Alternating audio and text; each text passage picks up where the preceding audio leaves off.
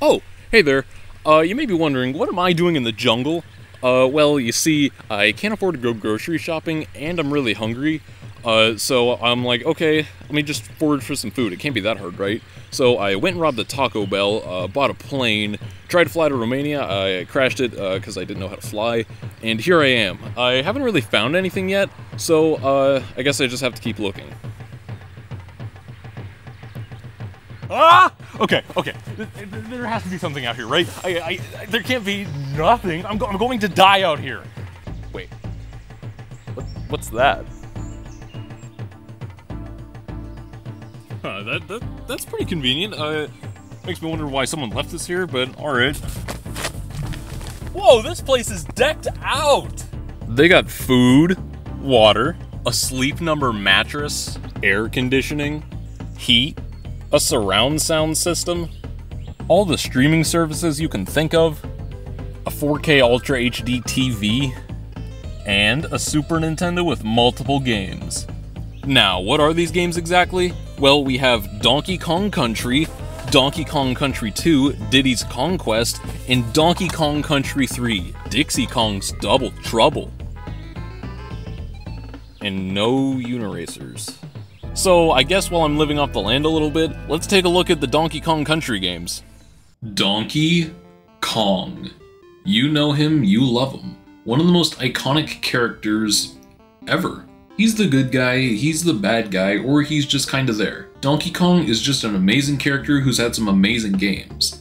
But, with all franchises, there's a beginning. So what was DK's beginning? Well, it was none other than 1980's Radar Scope. I guess we all start somewhere. Radar Scope was a game. It was alright. The problem with the game is it just didn't have a place in the market at the time. Space Invaders from 1978 was infinitely more popular, so in the end, Radar Scope fell flat on its face. Nintendo of America was established around this time as well, and one of their first decisions was to buy 3,000 Radar Scope machines. Since the game sold really poorly in the US, they still had a lot of machines left over. Nintendo had a pull the company's entire creativity pool, pitching in some great and probably not so great ideas, with Shigeru Miyamoto's idea on a story between a gorilla, a carpenter, and a girl being chosen. It makes me wonder just how the other concepts were if this was the one that got picked. Eventually, the game was completed, so they modified the pre-existing radar scope boards to house the new and fresh Donkey Kong. And guess what? It blew up. After the rest of the radar scope Donkey Kong cabinets were sold, more cabinets were made. In under a year of it being released, Nintendo made over $180 million, and it just kept growing. A total of around 132,000 cabinets were sold in Japan and the United States. Its popularity and sales numbers were just insane. So there was bound to be a sequel. Donkey Kong Jr. Yep, there's another one. This time Mario is the bad guy, and you have to free Donkey Kong as Donkey Kong Jr. The game did alright, definitely not as good as its predecessor, but it still sold over 30,000 cabinets. It's pretty similar to the original Donkey Kong, walking, jumping, collecting things, avoiding things, and getting to the top to free someone.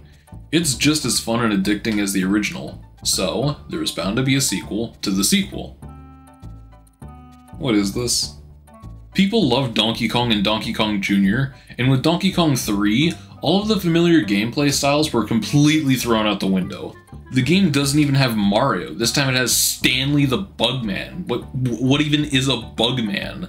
The other games are pretty repetitive. I mean, the levels just loop over and over again until you game over. But Donkey Kong 3 unlocked a new meaning of repetitive. Jump, spray, jump, spray, jump, spray, jump, spray, jump back down, spray, jump, spray, jump, spray. This is it. This is Donkey Kong 3. The dryness of this game and the overall video game crash of 1983 made this game do horrible, only selling around 5,000 cabinets. So after all that, while Mario went on to become the most famous thing to exist, Donkey Kong was left behind as the villain in favor of Bowser. The arcade games all got NES ports, and we also got the NES exclusive game Donkey Kong Jr. Math. Moving on. But after that, our mammalian friend was pretty much left behind, nearly forgotten about. Nearly. In summer of 93, Nintendo of America employee Tony Harman was traveling certain parts of the world to find noteworthy studios and games that would pique interest back at Nintendo. He was visiting Rareware Studio and saw them developing an insane tech demo with digitizing 3D models as 2D sprites, and was stunned. He reported back immediately to Nintendo, thus creating a pretty good friendship between the two companies. Nintendo wanted a game to compete with the graphical capabilities as Disney's Aladdin on Sega Genesis, which had actual Disney animators working on the game's art style. Nintendo was pretty anxious about the project, so instead of using a franchise that is already super successful, they wanted to possibly revive a dead franchise, and our good buddy Donkey Kong was the perfect fit, because there wasn't really a whole lot of story or characters in Donkey Kong, so the creative freedom from Rare to make new characters and character designs absolutely flourished. Before the game was released, there was a huge marketing plan with the game, saying how it was only on Super Nintendo. A game that looks this good didn't need to have a 32X adapter, it didn't need to be on a CD, it was just put on a cartridge for the normal price of a standard Nintendo published game. No extra hardware was needed, which was a pretty big hit in Sega's teeth. The game was released on November 21st, 1994, and it was amazing. It became the third best-selling game on the Super Nintendo, and it was a success in being a fresh start for Donkey Kong. Many gaming magazine publishers called it Game of the Year for 1994, and on top of that, it received so much positive feedback from critics and casual gamers as well. Well, what do you think? Is the game actually as good as people say, or do you think people are blinded by nostalgia and good graphics? Well, let's find out. This is Donkey Kong Country on the Super Nintendo Entertainment System.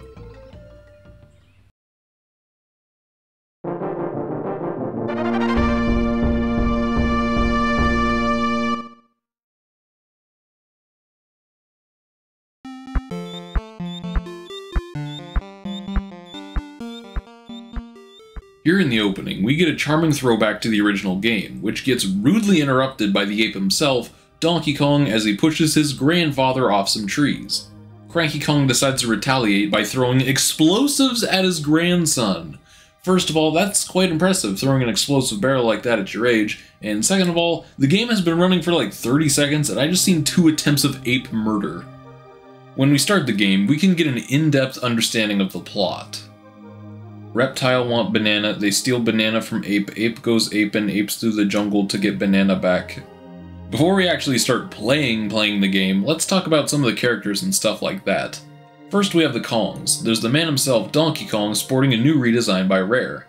I feel like this DK is the perfect example of the saying, if it ain't broke, don't fix it. This design of the ape is perfect.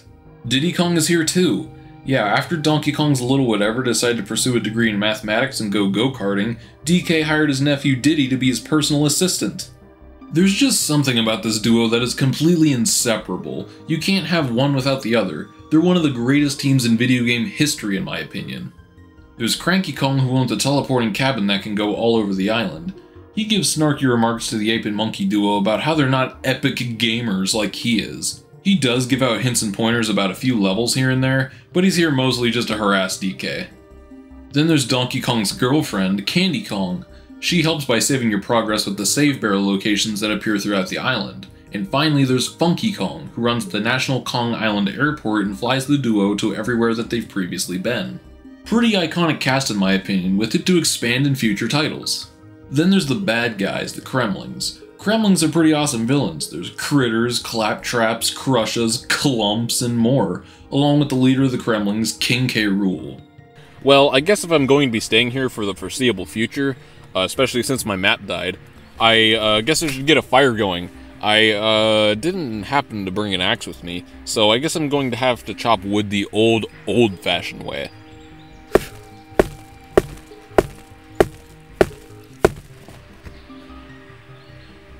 I'm gonna cry. Donkey Kong Country is a platforming game, similar to Super Mario World. There's a world map to go from level to level, grab the collectibles, and get to the end of the level. The levels themselves vary quite a bit, from standard platforming, cramped underwater levels, minecart levels, and also boss levels. The platforming levels are examples of pure platforming fun. They're the standard type of level in the game, nothing crazy, but there are a few neat gimmicks here and there. These levels allow you to use the moves in Donkey and Diddy's weaponry, such as rolling and slapping. The underwater levels are alright, like in most games it's hard to make an underwater level fun, but in this game I think they did a pretty good job of making it tolerable. Here, Donkey and Diddy just frolic around in the ocean trying to find their way out.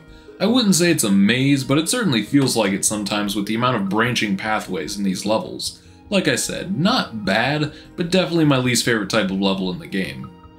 The minecart levels are some of the best levels in this game, and in my opinion, some of the best levels in any 2D platformer. It's all about reaction time. Don't jump too early and don't jump too late. These levels will always keep the adrenaline rushing. They're a lot of fun. Then there's the boss levels. At the end of every world, there's a boss that you have to defeat. The boss sprites are pretty goofy too, like, I don't know man, I don't want to see this bird's hyper-realistic bird flesh. Secrets are a constant in this game. It's littered with them in every level, with all those secrets contributing to 100% completion, which sorry to inform you, I didn't do. There really isn't a bad level that I can think of, but I will say this. This game is hard. It's not a difficulty you'd expect either, but when it hits, it hits. It's not the hardest game I've ever played, but it just feels like the game disguises itself as a fun ape-themed platformer, but it turns out to be one of the most challenging games on the Super Nintendo in my opinion. Alright, so I got my wood, and I forgot I don't have a way to light this. So, you know how a bird, like, sits on her eggs to keep them warm? Yeah, I tried doing that, only I got tired of sitting, so I'm just laying down. My back hurts so bad. Throughout the levels, there's many different collectibles. There's bananas, which are basically the same as coins in Mario games. Collect 100 of them and you get an extra life. There's extra lives that take form as balloons in the shape of Donkey Kong's head, interesting design choice. The Kong letters are found throughout the levels, and if you collect all of them in a level, you get an extra life. Then there's the animal tokens. If you collect three of the matching tokens, you get to play a bonus level to get extra lives with that animal buddy. Animal buddies can be found in crates in certain levels. There's Rambi, a rhinoceros who can ram into enemies and find secrets in walls. Winky, a frog who can jump really high and with him you can defeat certain enemies easily. Enguarde, a swordfish who swims through the water pretty swiftly and can impale enemies with his long pointy snout thing. Expresso, an ostrich that can glide through the air and dodge enemies. And there's Squawks, a parrot who only appears once in the level Torchlight Trouble. He carries a lantern so you can see the level. Why not just make the level so you can see it?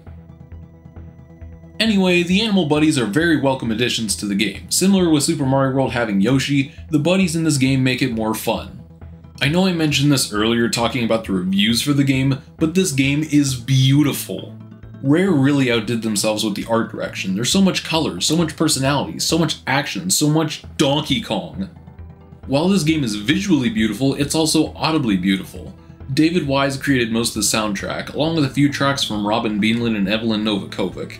This soundtrack is amazing. It's got boppin' songs, chill songs, Iron Maiden. No, literally, Gangplank Galleon is apparently inspired by my favorite Iron Maiden song, Hallowed Be Thy Name, which is awesome. Speaking of Gangplank Galleon, this is the final level in the game where you go up against King K. Rool. This fight is pretty cool. It's not mind-blowing by any means, it plays similar to the other bosses, it's just running around and jumping on K. Rool's head at the perfect time, and then boom, we beat the game. The credits start rolling, and... Uh...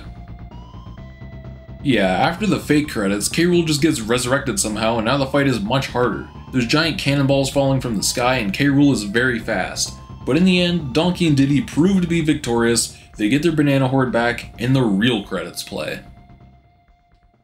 And yeah, that's pretty much Donkey Kong Country. The game is a masterpiece. It definitely goes in the list of my favorite games of all time. Sure, the difficulty can be a little infuriating here and there, especially in the later half of the game, but it's still a really good time. With the gameplay, graphics, charming characters, and enemies, along with the beautiful soundtrack to tie it all together, this game is awesome. I can't express that enough. So yeah, that's pretty much Donkey Kong Country. Uh, yeah, we still have more games to go over. Why me?